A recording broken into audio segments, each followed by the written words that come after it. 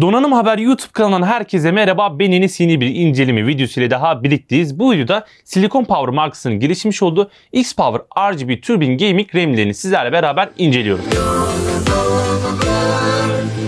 Yurt dışında adını sık duyduğumuz markalardan biri olan Silicon Power markası artık Türkiye'de. Bu markanın distribütörlüğünü ise Boğaziçi Bilgisayar üstleniyor.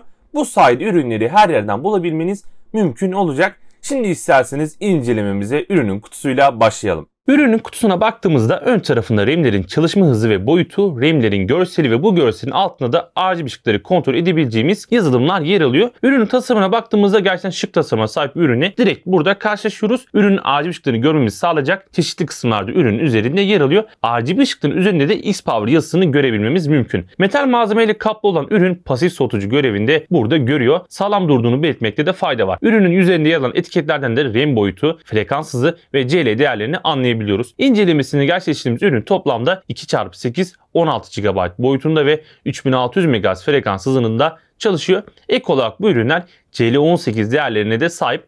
Bu RAM'lerin çalışma gerilimi ise 1.35 volt olarak karşımıza çıkıyor.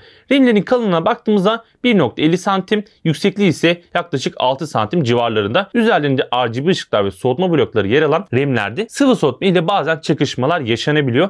Kullandığımız sistemde sıvı soğutma bloğu ön tarafta yer aldığı için RAM'leri kolayca anakart içine montajlayabildim. Eğer sıvı soğutmaya sahipsiniz bu RAM'leri satın almayı düşünürseniz bu detaya dikkat etmenizde kesinlikle fayda var. Açıkçası bu soğutma blokları bence RAM'lerin şık görünmesini de sağlamış. Hem de aşırı ısınmayı önlemek için dinamik bir termal soğutmayı yerine getirebiliyor. İncelemesini gerçekleştirdiğimiz bu üründe de RGB ışıklarıyla beraber güzel bir görünüm burada elde edebildik. Peki performans tarafında ürün bizlere neler sundu? Ürünlerimiz dual kit yani kutudan 8 ve 8 olmak üzere yani toplamda 16 GB RAM burada görüyoruz. Açıkçası yüksek frekans hızına sahip olmasıyla birlikte hem oyunlarda hem de üretkenlik ve hesaplama yazılımlarında farkı derinden hissettirebilecek bir frekans hızıyla burada karşılaşıyoruz. Adobe Premiere Pro'da video işlerken ve çıktı alırken Photoshop'ta efekt uygulama ve 3D modeller için render alırken bu frekans hızının fazlasıyla işlevsel olduğunu görebilmemiz mümkün. Ürünü bilgisayara ilk taktığınız zaman ise 2666 MHz frekans hızıyla çalışmaya başlıyor.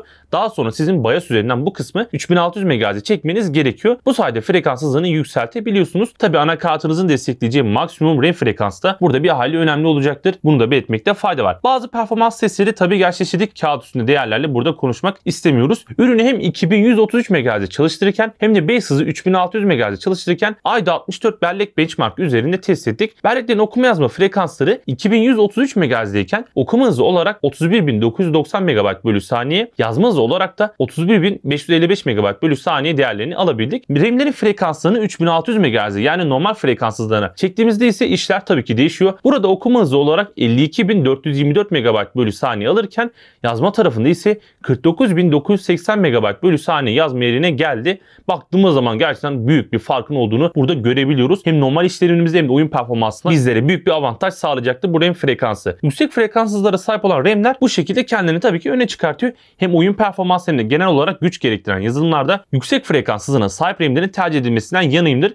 Özellikle oyun performans konusunda düşük ve yüksek frekanslı RAM'leri kıyasladığınızda ortaya ciddi FPS farkları çıkabiliyor. Evet yaptığımız bir diğer test ise Real Bench oldu. Real Bench'te 2133 MHz ve 3600 MHz frekans hızlarında ürünleri karşılaştırdık. Skorlarına baktığınız zaman hem encoding hem de normal görsel işleme detaylarını göreceksiniz. Evet üründe görebildiğimiz üzere canlı canlı RGB ışıklar yer alıyor. Bu RGB ışıklar yazılım ile kontrol edilebiliyor mu? Evet edilebiliyor. Kutu üzerinde zaten bunları görmüştük. Baktığımız zaman bu yazılımlara Asus AeroSync, MSI Mastic, Gigabyte RGB Fusion ve ASRock Polychrome Sync yazılımlarıyla karşılaşıyoruz. Gerçekten fazlasıyla geniş bir yazılım desteğinin olduğunu söyleyebilmek burada mümkün. Çeşitli renk efektlerini ve düzenlemeleri bu yazılımlar üzerinde yapabiliyorsunuz. Bizim kullandığımız anakart ise Asus'tu. Asus Aura yazılımı üzerinden yaptığım kontrollerde sistemle beraber güzel bir konfigürasyon oluşturabildim. Hem anakart ışıkları hem de RAM'in üzerinde yer alan ışıkların aynı anda kontrol edebilme olması, çeşitli renk efektleri, düzenlemelerin yapılabilmesi beni açıkçası fazlasıyla mutlu etti oyuna, müziğe farklı farklı modlara göre şekil değiştiren ışıklar bilgisayar kasını çok daha estetik ve şık hale getiriyor. Ben açıkçası RGB ışığa daha fazla önem verenlerden biriyim. Hem performans hem de RGB ışık konusunda ürün bizleri tatmin edecek seviyede duruyor. Evet bu videoda sizlerle beraber X-Power RGB Turbine Gaming RAM'lerini beraber detaylı bir şekilde inceledik. Hem okuma yazma hızından hem de yüksek frekanslı RAM'lerin bize ne tarafta artı sağlayacağını görmüş olduk. Baktığımız zaman sağlam malzeme kalitesi yani baktığımız zaman gerçekten güzel bir soğutma bloğu var. RGB ışıkları şık tasarıma sahip olduğunu görebiliyoruz. 3600 MHz MHz frekans hızına sahip olmasıyla beraber de base hızı olarak da güzel bir deneyimi bizlere sunabiliyor. Zaten bellek frekansının ne kadar önemli olduğunu yapmış olduğumuz testlerde görmüş olduk. İsterseniz ilerleyen günlerde de sizler için bir video daha hazırlayabiliriz. Bu videoda da yüksek frekans hızıyla düşük frekans hızını oyun tarafında kıyaslayarak performans farkı yani FPS farkı ne kadar oluyor diye detaylı bir şekilde bakabiliriz. Sizler ürün hakkında neler düşünüyorsunuz? Lütfen yorumlar kısmında bizimle paylaşmayı unutmayın. Başka bir inceleme videosunda görüşmek üzere. Beniniz kendinize çok iyi bakın. Hoşçakalın.